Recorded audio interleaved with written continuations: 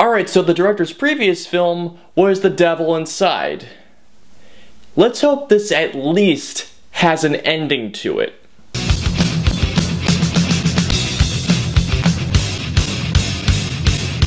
The Boy. So The Boy is a new horror film that follows Greta, who is played by Maggie from The Walking Dead, Lauren Cohan, as she takes this nanny job. She goes to England to be this nanny for this boy who acts, who's actually a doll while the parents go out. And things happen while she's there. Alright guys, so let's get into The Boy.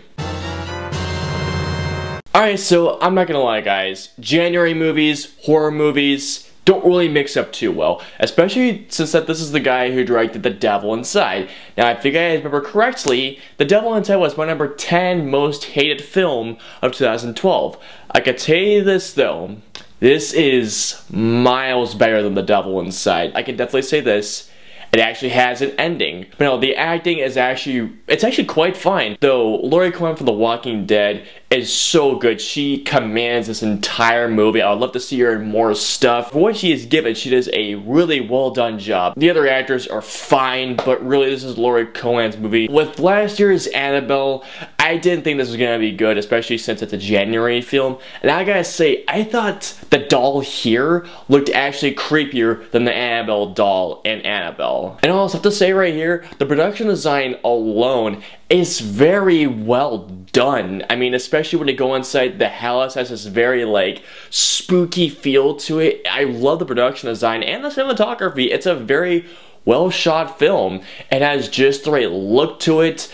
I really loved I really liked how the film was shot. Now the thing is, unlike The Devil Inside, the boy is actually quite creepy sometimes. The second half, right when something happens in the second half, I thought the movie just picked up at full speed. I have to say, there's actually one little point where I was just like, okay, that was actually really creepy. That actually happened, I think, two or three times throughout the second half. This film does have a plot twist near the end of it. Now, even though I've seen this twist done a million times before, the way it was done almost felt like new, almost fresh.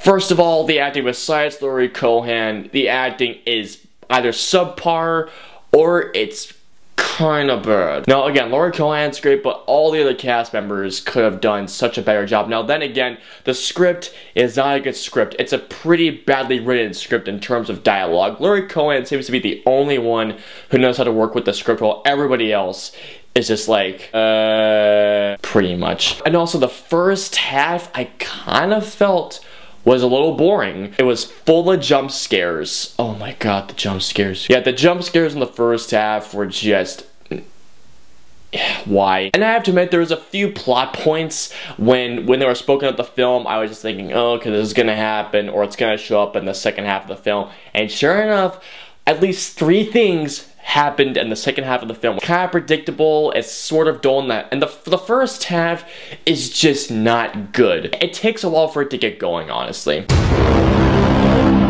Alright, let me just say this right now, guys. The Boy is nowhere close to being the best horror film ever made. It is nowhere close to being that. But for being a January film from the guy who directed The Devil Inside, this is actually kind of a worthwhile film. The first half is not good, but the second half I feel like picks up speed and it gives what I feel like I wanted. So you know, honestly, no, I'm gonna go 3 out of 5 for The Boy. It really, honestly, it surprised me with how much I liked it. And also, thank you for actually having an ending this time around. Alright guys, so comment and let me know below, what was the best horror film that you ever saw in the month of January? let me know below. And also guys, if you like this video, please like, share, and subscribe to see more content from me. And as always, until the next review, I will see you guys next time.